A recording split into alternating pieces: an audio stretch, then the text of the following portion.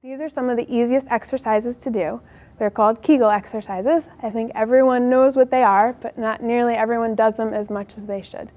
To perform a proper Kegel exercise, you want to contract the muscles that you would to stop the flow of urine or gas. By contracting these muscles, you should almost feel a lifting of the pelvic floor. That's how you know that you're doing exercises correctly.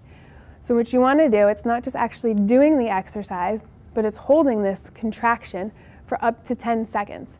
Think about these muscles working throughout the entire day as you're standing, walking, and moving. They need to be pretty strong over long periods of time to support the uterus and the baby. So when you do these exercises, you're going to contract, hold for 10 seconds, and then relax. You want to work up to three sets of 10 of these exercises. After your 14th week of pregnancy, it's not recommended to lie supine anymore. For this reason, getting into quadruped or on your hands and knees is a really great position to start strengthening your core muscles.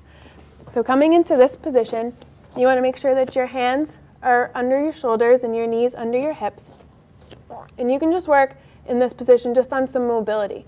So kind of just inhaling and rolling your hips under, tucking your tailbone under to create more of an arch in your spine, and then coming back down into extension. As we start to work on stability, we want to focus on more of a neutral spine, so keeping your back flat through here.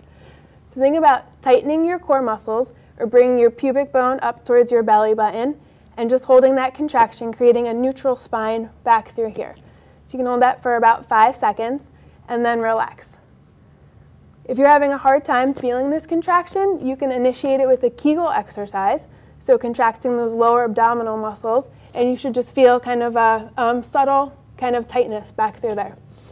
As these exercises start to get easy, you can just come into a nice neutral position, and from here you can lift one arm up, holding for about five seconds, and coming back down. And then again, on the other side. The whole time maintaining that neutral spine. You want to make sure that you don't kind of let this sag down. So I always recommend resetting in between exercises, tightening your core, and getting your back nice and neutral. As the arms get easy, you can start to add legs. An easier leg option is to just slide a leg back and come in.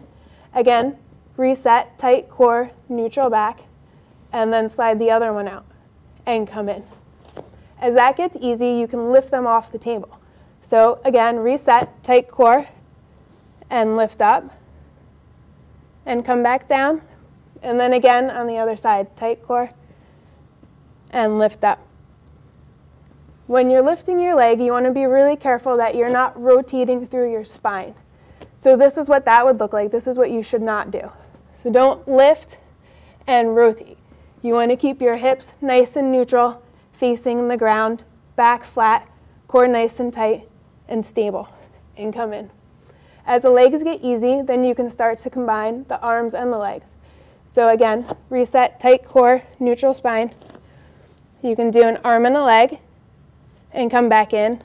And as that gets easy, you can lift and do the arm and the leg and come back in.